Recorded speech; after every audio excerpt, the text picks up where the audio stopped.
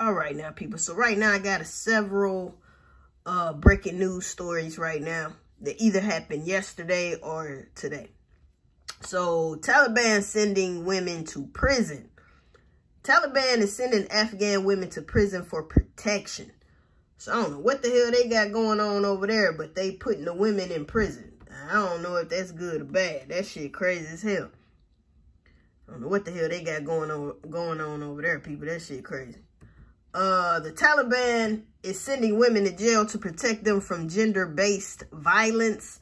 The Taliban has limited the access of women to almost everything in the country. And according to a UN report, a woman with no male relative is considered unsafe. That shit crazy. They they they wilding out over there. All right. So women, us in United States need to uh follow suit. I ain't talking about going to jail and nothing to protect yourself. I'm talking about, uh, you know, get you some, some weapons and whatnot, ladies, because that shit's crazy as hell right there. Now, Biden cares more about Ukraine's border than our own. That That's what it been looking like. He sure look like he care about every, Ukraine and Israel, him, and, and, and don't even give a damn about the borders and shit, let alone American people, right? Biden will lose. Time to destroy the deep state. All right. We believe at Heritage that a conservative, whether it's President Trump or someone else in the field, will replace President Biden. Thank goodness. And it isn't enough for whoever that is to govern as a conservative. Tactically, they have to wake up every day and say, what part of the American administrative state am I going to destroy today? Not reform, not modify, not tweak, destroy. Fire the bureaucrats. Close agencies. End. As is my pet project. The U.S. Department of Education. If Republicans don't have the backbone like Lady Thatcher, like President Reagan, Reagan to stand up to the blob and to destroy it, we will lose America. Every tactic has to be oriented, oriented around that goal.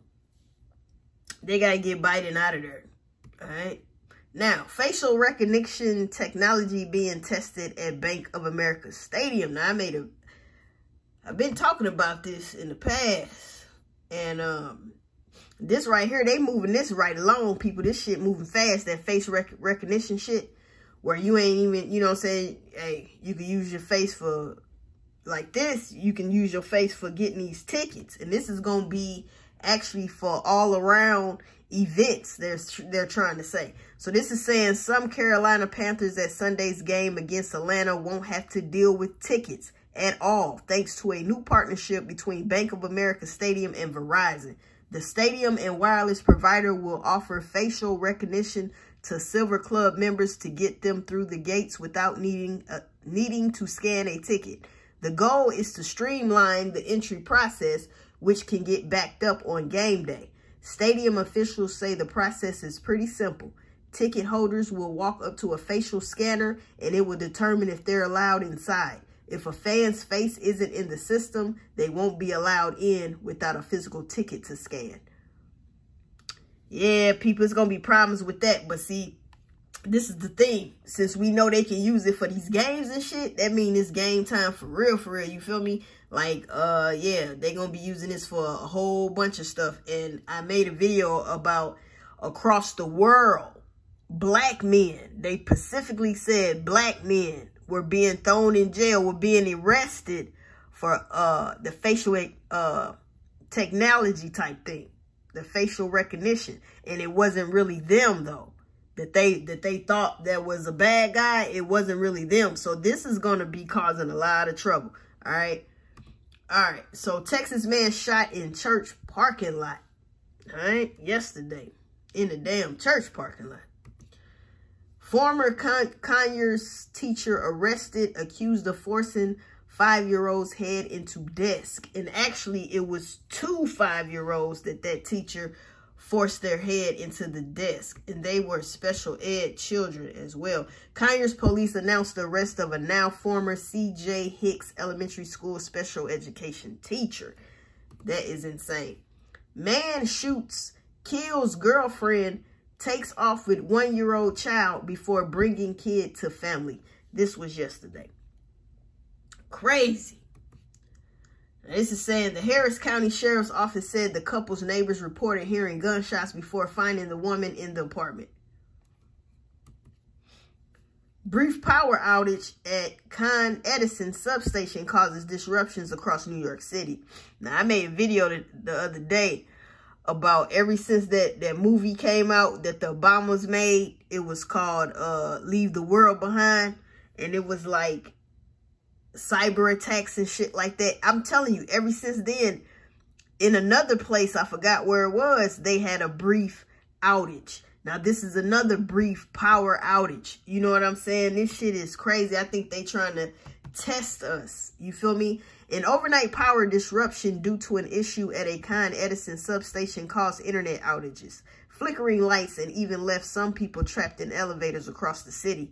Now, the other place it did that at, I forgot what it was. I want to say California or something, but I forgot what it was. Look at look at my other video. It says Untitled. It's in that video. Um, now, see, this right here, that's why it's so important to have, you know, your food and water, all your necessities. You need to have that, stock up on that shit because it could be a time. I've, I've always been saying that if, you, if you've been, you know, really paying attention to my channel and you've been on here for a while looking at me, um, like this is some serious ass shit. Like you need your necessities, people. You can't get around that because if this happens, like this was an overnight power disruption, but it came back on. But what if it doesn't for a little while? You know what I'm saying? For days, for months. You feel me? Like it's going to be crazy outside. It's going to be crazy when it get dark. You know what I'm saying? And if you don't have what you need, how can you go to the store and stuff if everybody is, you know what I'm saying, trying to be safe. You feel me? So it's some weird shit going on. So y'all need to pay attention to that shit about these outages, cyber attacks and shit like that. China already said they were uh, ramping up the speed on doing cyber attacks on United States. So check my video out. Uh, I made the other day on that. All right. So protesters block parts of Schuylkill Expressway, Spring Garden in Philadelphia. Now, this is what's crazy because it's like, why are you doing this when if you want to stop them from that war over there with Gaza and Israel, you need to be over there doing that shit. Why block off the damn expressway over here? I don't get it. Protesters calling for a ceasefire in Gaza have blocked a portion of the expressway at Spring Garden Street in Center City, Philadelphia on Thursday evening. Now, see, this the thing, though some of these people are getting arrested. You know what I'm saying? Like, I don't understand. Why are you...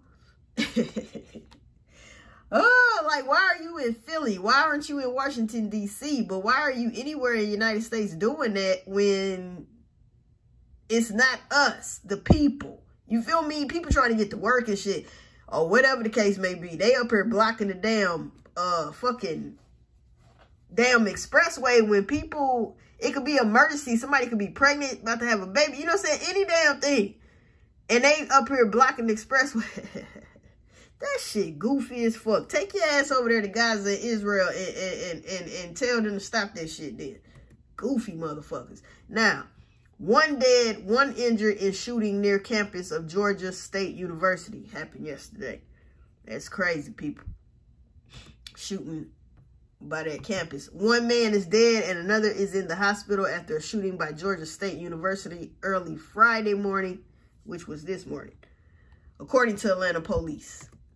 Now, body found in trunk of burning car on Chicago South Side.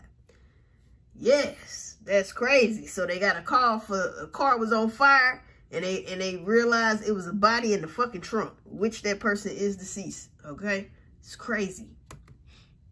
The car was found in an alley near Parnell and West 37th Street just after 2 a.m. During the fire response, crews found a body in the trunk of the car. God damn. Mother shot to death. Three children beaten by father in Houston South Side, bruh. That shit crazy. He done killed the mama and beat the shit out the kids. Damn. A mother was found shot to death and her three children were beaten early Friday morning, according to the Houston Police Department. Jesus Christ. Mass shooting at Memphis car wash kills two, injures three, police say. So two died and three are at the hospital. Probably fighting for their damn life. Police called the shooting a targeted attack that left two men in their early 20s dead. That's crazy. Man, y'all let me know how y'all feel about this shit. Message.